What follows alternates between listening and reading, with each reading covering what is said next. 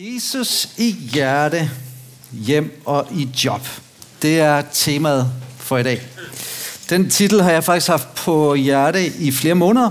Ikke bare som en overskrift for budskabet her i dag, men faktisk også som sådan en lille pastoral analyse, en hyrde øh, vurdering af, at det virkelig er et behov for os at fokusere på de her tre elementer i 2024 og se, hvad Jesus han vil ind i det. For jeg tror, han vil noget der. Der er noget, der skal styrkes, tror jeg. Der er en teologi for den helhed, øhm, som integrerer vores liv i et hele, hvor vi ikke er opdelte, men hvor vi ser helet mellem hjertet og hjemmet, jobbet, hele vores hverdagsliv. Den fusion, hvordan den kommer til at gå op, det er det, som jeg har på hjerte i dag. For jeg tror, Jesus vil dykke dybere ind i vores hjerter. Jeg tror, han vil fylde vores hjerter mere. Jeg tror, han vil gå mere i dybden, blødgøre dem, rense dem, hele, sætte fri, tøbe dem op. Øh, men han vil ikke stoppe der. Han vil også ind i vores hjem. Han øh, vil ikke bare, at du har Jesus i hjertet, når du er på matriklen her om søndagen. Hvis øh, det med Jesus bare handlede om gudstjeneste og gruppe, så var det jo ikke så svært. Men det handler også om dit hjem og dit job så vil jeg også øh, synes, at det med at forstå kaldet til job, og job som et kald, det er ufattelig vigtigt. Øh, vi forstår, hvorfor skal jeg tage den uddannelse, jeg er i gang med? Hvorfor skal jeg gøre det, jeg gør? Men også, hvad er det for en periode, jeg er i nu? Og hvad er det, Jesus leder mig ind i, og hvorfor er det så vigtigt? Den tekst, vi skal bruge i dag, den finder du i Lukas 19. Så har du en bibel med, så vil det glæde mit gamle præstehjerte, om du slår op på Lukas 19. Og har du ikke, så har du sikkert en app for det, så er det lige nu, man godt må tage telefonen frem og kigge ind i den. Og øh, det er Lukas 19, vi skal læse sammen. Den kommer også på skærmen her. Og Jesus kom ind i Jericho og gik gennem byen. Der var der en mand, som hed Zacchaeus. Han var overtolder, og han var rig. Han ville gerne se, hvem Jesus var, men kunne ikke få skaren, da han var lille af vækst. Han var simpelthen ikke ret høj. Så løb han i forvejen og klatrede op i et morbærfintræ for at få ham at se. For han måtte komme den vej forbi. Da Jesus kom til stedet, så så han op og sagde, Zacchaeus, skynd dig at komme ned. I dag skal jeg være gæst i dit hus. Så skyndte han sig ned og tog glad imod ham. Men alle, som så det, gav ondt af sig og sagde, han er gået ind som gæst hos en syndig mand. Men Zacchaeus stod frem og sagde til Herren, se her, halvdelen af, hvad jeg ejer, giver jeg til de fattige.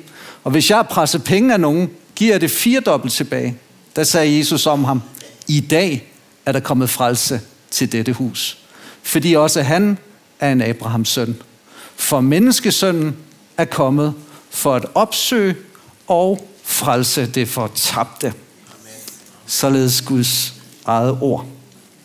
En skøn tekst, som øh, givetvis, hvis du er vokset op i kirke, er en, du har hørt en del i børnekirken eller juniorklubben, fordi den var rimelig let, tror jeg, at lave illustreret prædiken på, og der var ret mange kandidater til Zacchaeus-rollen om at kravle op i et eller andet og kigge ned.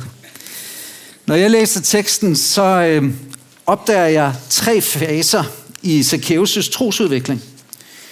Den første fase er, at han søger efter Jesus. Han vil gerne se, hvem Jesus er. Og øh, der klatrer han op i et træ. Så det er sådan hans første møde med Jesus. Han er nysgerrig på, hvem er Jesus. Fase 2, det er, at han lukker op for Jesus. Han får Jesus som gæst. Og øh, han skynder sig at tage imod ham, og han er glad, når han gør det. Og fase 3, det er, at Zacchaeus får et forhold til Jesus som sin herre, øhm, hvor han ikke bare har ham i sit hjem, men i sit hjerte, i sit job og hele sit liv. Så jeg ser den her progression i den her trosudvikling i Zacchaeus' liv. Og jeg ved ikke, hvilken udvikling, trosudviklingsfase du er i. Om du er i fase 1 eller 2 eller 3. Det kan være, at du er førstegangsbesøgende, og du er nysgerrig på, hvem er Jesus? Du øh, er undersøgende og længes efter at finde ud af, hvem er han egentlig, og møde ham personligt, det vil du gerne. Det kan også være, du er i fase 2, at du har Jesus som gæst, at han er der ved højtiderne, og han er der også et eller andet sted i dit liv. Men lige frem at sige, at du lever med ham som herre, så det kan ses på dit liv, at du er en Jesus efterfølger. Det er ikke sikkert, du har det sådan. Men så er der givetvis også nogen her, som har Jesus som sin herre, og som siger, der går ikke en uge, uden han får peget et eller andet ud, der skal ommøbleres, et eller andet, som skal have mere plads, noget i mit hjerte, noget i mit hjem, noget for mit job, som skal forandres og forvandles. Teksten forlanger, føler jeg, at vi ser ind i os selv, og med Helligåndens lys overvejer, sidder jeg fortsat op i den der, på den gren oppe i træet? Eller sidder jeg til bords med Jesus og hygger mig og snakker? Eller er jeg, har jeg forladt det der møde og er i gang med at ommøblere mit liv? Eller har jeg stemplet helt ud af Jesus historien? Min påstand i dag, det er, at forvandlingen i frelsen, det begynder altid med hjertet. Kan I sige med det? Til det? Og derfra vil Jesus ind i dit hus, ind i dit hjem, ind i dit job, ja, ind i din hverdag. Så vi taler i dag om Jesus i hjerte og hjem og job. Og hvis vi skulle tegne en lille oversigt, nu skal jeg se, at der er nogen, der har fjernet, det kan jeg se der. Jeg havde forberedt en, en flip over her, så er der en, der har tænkt, det må vi hellere få, få væk. Det er det, der hedder tjeneste. Diakonitjeneste. Skal jeg se, om jeg kan huske det? Det var velment. Hvis vi øh, tænker på Zacchaeus, så er det hans hjerte, kan I se her. Og øh, her er hans, det er hans job, det er Aalborg Portland, han arbejder på, kan jeg se. Og herover der er hans hjem. Og det, som sker med den gode Zacchaeus, det er jo, at han får Jesus ind i hjertet, og så opdager han, at det forandrer hele hans liv, hele hans væren, hele hans væsen, og det påvirker hans hjem, og det påvirker hans job. Og det, som han opdager, som vi også må opdage, det er faktisk, at Jesus, han har lige så meget hjerte for de her to steder, som han har for det her. Og derfor så synes jeg, det er interessant at se teksten igennem på de her tre vinkler, og vi skal starte med hjertet, og der også lige få en lidt dybere vinkling på, øh, hvad teksten har at sige til os. Og der skal vi prøve at se lidt ind i, hvad Jesus vil i vores hjerter. At han vil ind i vores hjerte, skal vi bare lige huske på, det er ikke sådan en indgangsting. Men det er noget konstant. Efeserbrevet siger, at han bor ved troen i vores hjerter. Og det der græske ord for at bo, det betyder faktisk har fast bopæl. Så han er ikke på sådan en Airbnb-ophold en 3-4 dage, og så skal du fejre og rydde op efter ham. Han er der fast. Og så graver han så dybere og dybere ind. Men hvordan startede hele det her for Zacchaeus? Jo, det starter faktisk med, at Jesus kom ind i Jericho og gik gennem byen. Og hele historien slutter med, at det er som om Jesus siger, alt det I har hørt om Zacchaeus her, det har at gøre med, hvorfor jeg er kommet til verden. For menneskesønnen er kommet for at opsøge og frelse det fortabte. Så Zacchaeus bliver et eksempel på os, på en fortabt person. Det ord, som bliver brugt her, er et meget, meget stærkt ord. Øhm, apolemi, som betyder fuldstændig ødelæggelse, adskilt fra afskåret. Og det handler om mennesket adskilt fra Kristus. Uden Jesus i hjertet, så er vi stemplet fortabte. Vi er under Guds fred, vi er adskilt fra Gud, vi har ikke noget håb om evigt liv. Alene står vi med vores frelse, og ingen kan frelse sig selv. Romerne 1 og 2 siger, at der er ingen retfærdig. Der er ingen, der kan imponere Gud overhovedet. Så der står vi. Var det ikke, fordi Gud sendte Jesus, menneskesønnen, et andet ord for Messias, for at opsøge og frelse os fortabte, Zacchaeus og Dan, Zacchaeus og Tejt, Zacchaeus og, så kan du sætte dit navn ind, så var vi lost. Uden Kristus, uden håb, uden Gud i verden. Men menneskesønnen er kommet for at opsøge, og det her ord opsøge, seteo, det betyder at lede efter, at blive ved med at søge, at komme til bunds i en sag ud af længsel. Og det er det, der optager Jesus. Det er, at han leder efter, han søger efter. Han er optaget af hele tiden spejder efter dem, som er fortabte. Lukas 15 har tre historier for at beskrive det hjerte, som Gud har. Først en historie om en, som har tabt en mønt, og der bliver let igennem hele huset. Efter den mønt, skal lige sige til min kone her, det slår mig lige, det fik jeg ikke lige nævnt for hende, at jeg kom til at købe dronning Margrethes mønt. Fordi jeg så en reklame, og der var kun 6.000, og jeg tænkte, jeg vil være en af dem. Jeg, jeg ved ikke lige, hvorfor. Normalt er jeg aldrig så spontan med, at jeg tænkte, den mønt må jeg have. det slår mig lige nu, ellers så bruger jeg ikke ordet mønt. Så jeg er meget, meget spændt på den der sølvmønt. Den er 99% sølv. Hvis nogen vil købe den af mig, så kan I få den for 2.000. Jeg gav 999, eller... Jo, det gjorde jeg. Det er godt med sådan en forhandling. Men øh, kvinden der opdager, at hun har mistet en mønt og fejrer og finder mønten og holder en fest. Og så er der en hyrde, der har opdaget, at der kun er 99 af de 100 får, der skulle være, opsøger foråret og finder det og holder en fest. Og så den sidste, det er en far, har to sønner, som spejder efter den søn, der forlader huset, og som misbruger husets navn og formue, men han spejder, og der er fest, når han kommer hjem. Jesus kom ind i Jericho. Jericho, det betyder øh, byen, øh, parf- den er parfumeret. Det, det er det ord, der bruges. Og øh, det var faktisk, der var nogle kilder i Jericho, og det gav liv til en, øh, en palmeskov. Og så var byen kendt for sine rosenhaver, og så lavede de en helt særlig balsam, så det var sådan en duft i den by, man kunne sige, det var derfor Jesus kom ind som turist og gerne lige ville være der. Han havde 10 dage til korset og vidste, at han gik imod Jerusalem. Men det vi ser tydeligt, det er, at han kommer ind i den her by og gik gennem den, og så bagefter står der, der var Zacchaeus. Så det er tydeligt, at Jesus opsøger Zacchaeus, hvor han er. Jeg vil bare sige, at Jesus søger dig. Jesus opsøger dig. Det gjorde han for at frelse dig, og det ord her, som bruges for frelse, det er så det betyder redde ud af fare, at udfri, befri for ødelæggelse og bringe ind i sikkerhed, tryghed og at genoprette.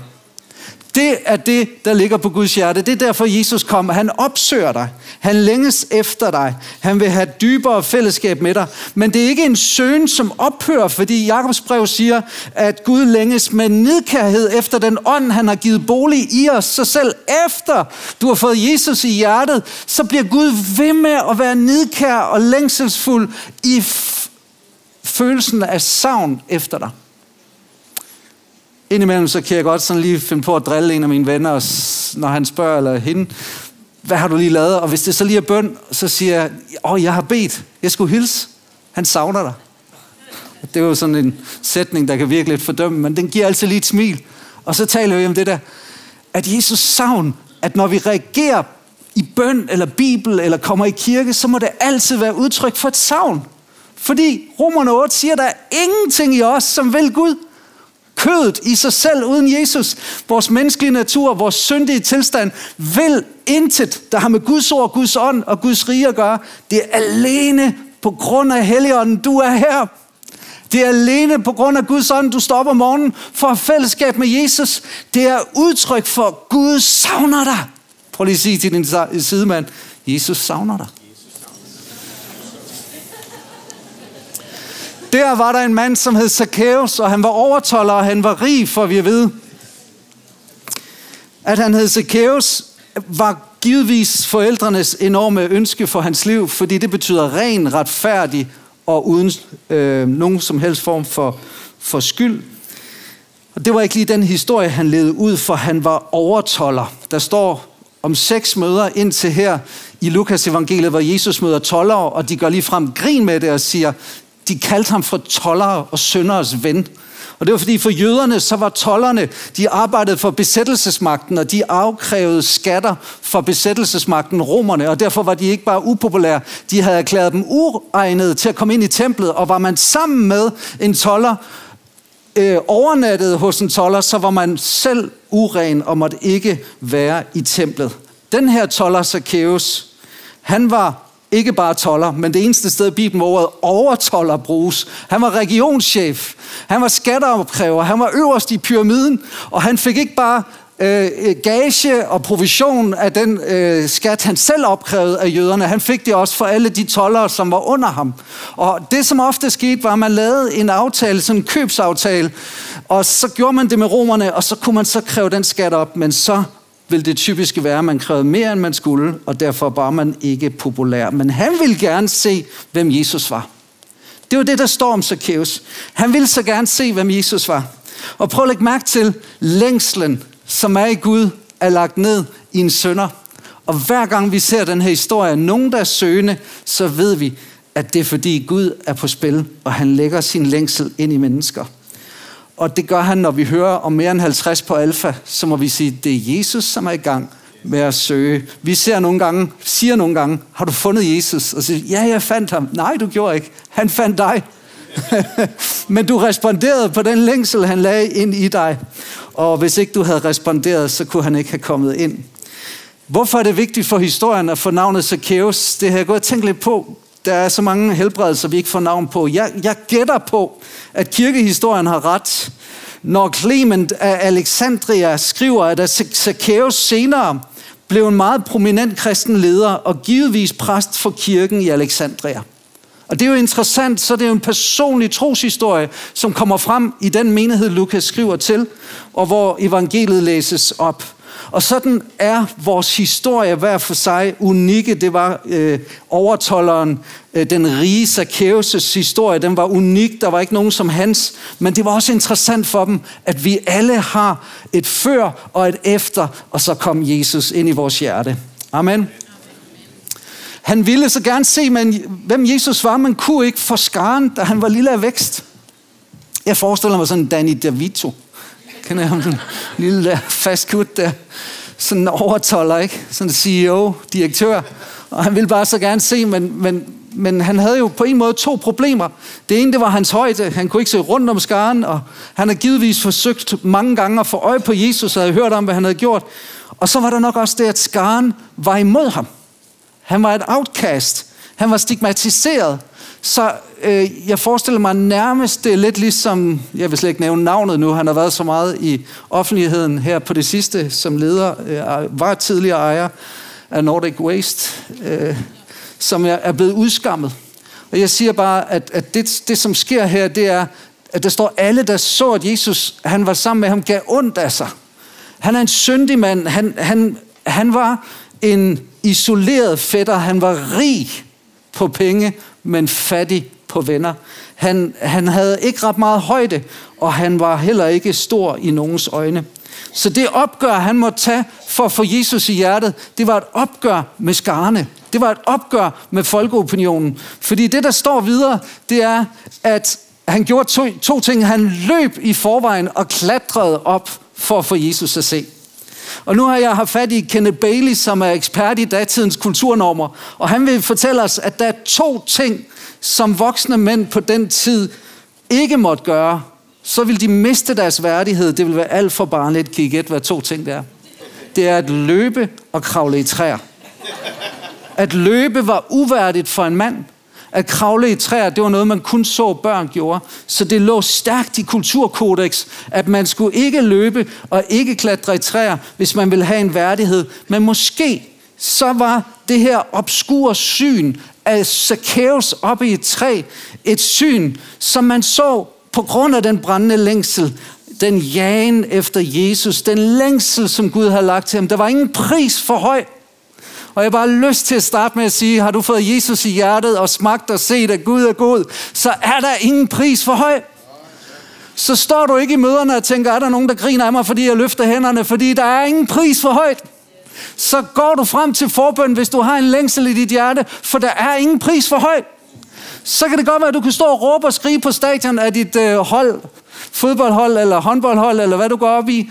Men hvornår ser dine børn dig gøre de der barnlige ting, fordi du elsker Jesus?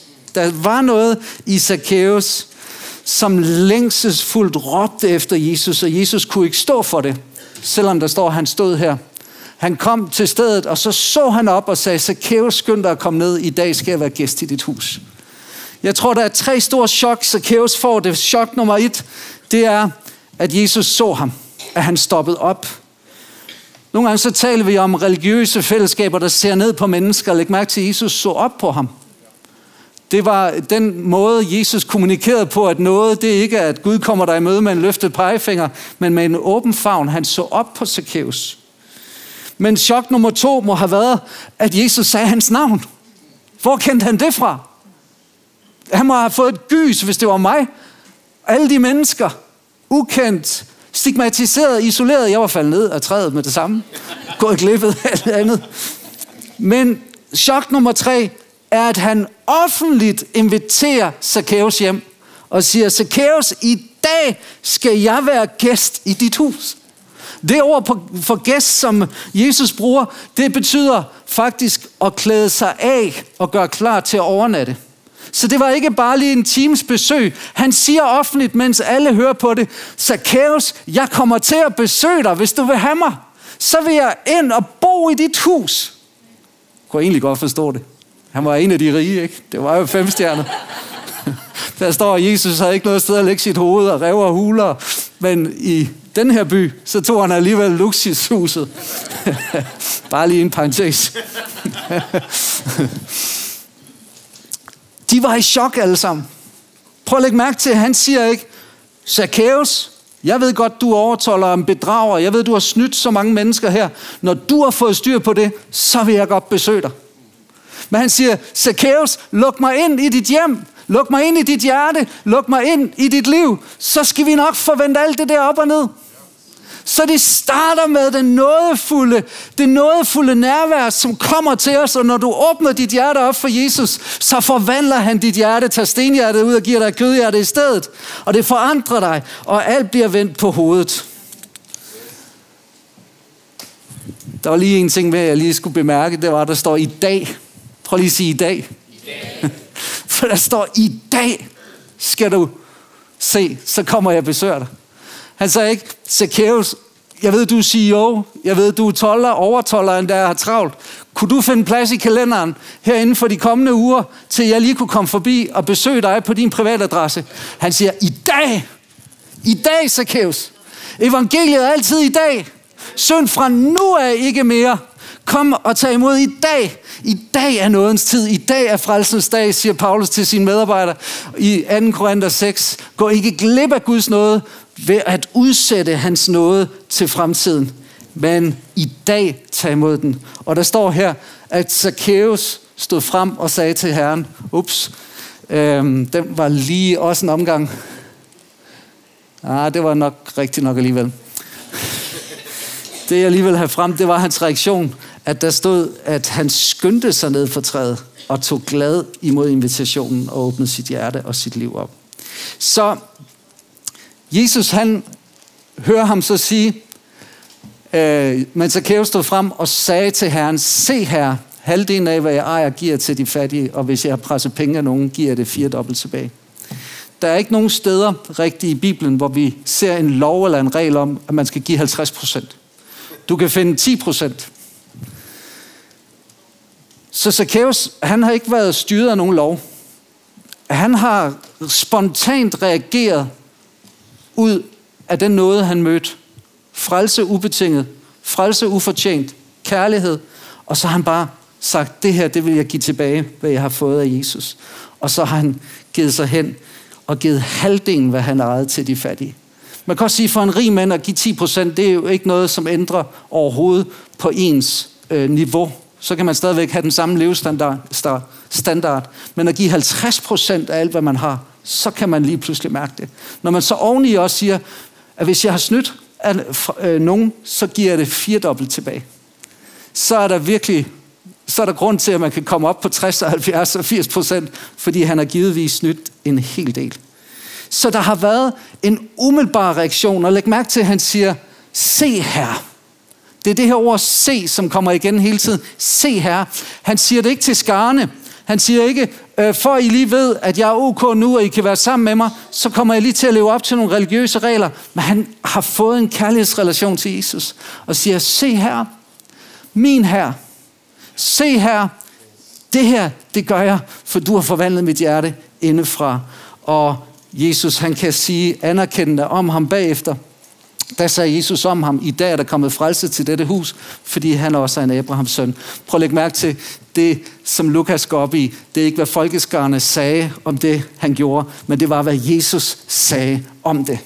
At blive frelst, det er at blive erklæret frikendt, erklæret retfærdig, og når han kaldes for en Abrahams søn, så er det fordi, der står, at, at Abraham troede Gud, og det blev regnet ham til retfærdighed. Og det er det her ord regnet, som bliver taget op også i Romerbrevet om retfærdiggørelse ved tro. Vi erklæres retfærdige i frelsen. Så det, som frelser Zacchaeus, er ikke, at han giver fem gange tiende og restaurerer, men det er Jesus, som ser hjertet. Han ser frelsen. Han ser beviser på, at han er ved at blive forvandlet. Han kan se, at der er frugter af frelse i hans liv. Kan I sige amen til det? Amen. Så øh, han kunne lige så godt have sagt, dette er blevet et Guds barn. Dette er en frelst person. Det siger jeg nu. Fordi Abrahams søn, det er at være Guds barn. Og jeg vil bare sige, det vigtigste for dig, det er ikke, hvad din kollega eller nabo eller venner siger om dig, det er, hvad Jesus siger om dig. Og der, hvor du har Jesus i hjertet, så ændrer det dine motiver, det ændrer dine standarder, det ændrer, hvad du går op i, hvad der er vigtigt for dig. Det vigtigste bliver, at Jesus er glad, og at Jesus trives i dig, og at Jesus, han har det godt med dig. Og det er det, vi skal gå op i i Jesu navn. Ånden vidner sammen med vores ånd om, at vi er Guds børn, står der. Barnekorts ånd. Og nu slutter vi her og går hurtigt til noget. Hvad betyder det så for os? Jo, det betyder, at du må have Jesus i hjerte og hjem. To gange bliver det her ord hus brugt. Det er øjkos, det kan betyde bygning, familie eller hushold. I dag skal jeg være gæst i dit hus. I dag er der kommet frelse til dit hus.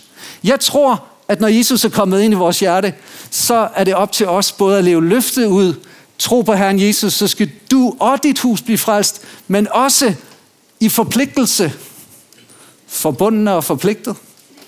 For Guds rige. Amen. Jeg og mit hus, vi vil tjene Herren. Hvad betyder det for os? Jo, jeg tror, det kommer til at betyde i vores hjem, at der er nogle ting, som vi kan gøre, og der er noget, vi ikke kan gøre mere. Fordi han indbefatter dit hus og dit hjem og din familie i frelsen. Og han siger, at frelsen må påvirke den måde, vi er sammen på i vores hjem. Den forvandler fuldstændig værdierne, og det må afspejle troen og tonen og talen i hjemmet. Og Jesus, han må få lov at afspejles i vores hjem. Og Jesus, han må være herre, både i vores hjerte og i vores hjem. På, til bøn og lovsang, til nærvær her, jeg tror det var torsdag aften, var der en ung pige, som gik op og fortalte, øh, eller var i gang med at bede. Jeg kan ikke huske, hvordan det var. Det satte sig bare i mig, for hun sagde, der er sket noget med mine forældre over de seneste par år, som har ændret vores tone. Og hun var i midt 20'erne og sagde, det er som om, vi har fået en helt anden bøndensånd. Der er en åbenhed for det profetiske. Der er en åndelig blufærdighed, der er væk. Der er en helt anden inderlighed og ærlighed og intimitet. Og det har påvirket mit forhold til mine forældre. Der sker noget, når du og jeg røres i hjertet. Det påvirker vores forældrerolle. Det påvirker vores måde at relatere som par. Det påvirker vores hjem. Der sker noget, når Jesus kommer ind. Også i vores hjerte og vores job. Der står her, at Zacchaeus siger, hvis jeg har presset penge af nogen. Givetvis var det ikke bare hvis, det var højst sandsynligt, at hans hverdag bestod i at presse folk til at give mere i skatten, de skulle. Så han har ikke været en hederlig forvalter, han har været en bedrager. Han har været en, der stjal for mennesker og lagde å på mennesker. Men han får en helt ny tilgang til sit job, når Jesus kommer ind i hans hjerte.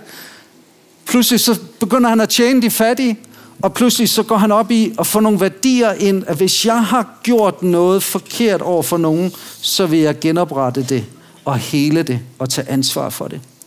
Og jeg tror på, at når Jesus kommer ind i vores hjerte og ind i vores job, så vil det også påvirke vores værdier og vision for vores arbejde. Jesus han går med dig på jobbet, ved du godt, ligesom han går med dig hjem, og han går med dig i kirke. Og det at leve med Jesus som herre i vores job, det gør, at der er nogle ting, vi kan gøre, som andre gør, men der er også nogle ting, vi ikke kan gøre, som andre gør. Vi kan ikke lyve, vi kan ikke snyde, vi kan ikke bedrage, vi kan ikke hoppe med på den sjofle snak. Der er nogle ting, vi ikke kan. Der er en integritet, som Jesus vil have frem i os. Og jeg tror, vi er i en periode lige nu, hvor Jesus kalder os til en overgivelse, både i vores hjerte og vores hjem og vores job. Må jeg spørge, hvor mange herinde er i fuldtidstjeneste for Jesus? Prøv at løfte din hånd op. Det er alligevel nogle stykker, der ser sådan på det. Det er jeg glad for. For jeg var bange for, at der kun lige var et par stykker, et par missionærer, der løftede hånden. Fordi jeg tror ikke på, at der er en herinde, som har Jesus i hjertet, som ikke har Jesus i jobbet. Hvis Jesus har kaldet dig til et arbejde eller en uddannelse, du er i gang, så tror jeg, at Jesus har en mission og et kald over det. Og hvor mange af jer arbejder fuldtid, kunne jeg spørge, jamen så er I også i gang fuldtid for ham. Og det er det syn på, og det blik på arbejde og på job, som jeg tror, vi skal bruge det her år også på at udfolde og gå ind i, så vi får en dybere forståelse for, hvordan vi kan se på vores job, vores arbejde, også som et kald og en tjeneste. Så min udfordring til jer, det er at få Jesus i hjerte, og det er at få ham ind i dit hjem og ind i dit job. Og jeg vil gerne bare slutte med en refleksion. Er der noget i dit hjerte, som du må gøre op med? Nu var det for Zacchaeus egoisme, materialisme. Han levede simpelthen for at blive rigere, i stedet for at leve for at gøre godt for andre. Er der noget i dit hjem, som du må gøre godt med? Gør op med? Er der noget, du lukker ind via dine devices, via din tv, via din computer, som ikke burde være der? Er der noget, der optager dig for meget, som tager tid fra ordet og bønden? Er der noget, som fylder i dit sind, som ikke burde fylde? Er der en tendens i dig, i dit temperament og adfærd, tone og tale, som du må tage et opgør med inden for Jesus? Er der noget af dit job, som du må gøre op? Lever du som skabskristen? Undercover troende? Så kan Helligånden fylde dig med kraft, så du kan være et vidne for ham. Lever du urent trav? Gør du urent trav? Tør du ikke sige nej, når der bliver gjort dumme ting? Du ved, det er gråzoner, og du har brug for at være 100% hvid og ren. Så tag et opgør med det. Jeg tror, Jesus kalder os til at åbne op for ham. Luk vores hjerte op for Jesus. Luk vores hjem op for Jesus.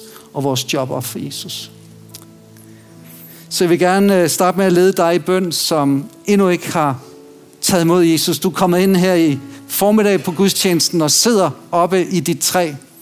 Du kravlede derop, ikke på grund af ultimative krav, som visse politiske partier har gjort, men fordi du har brug for at sige, Jesus, jeg vil gerne se, hvem du er.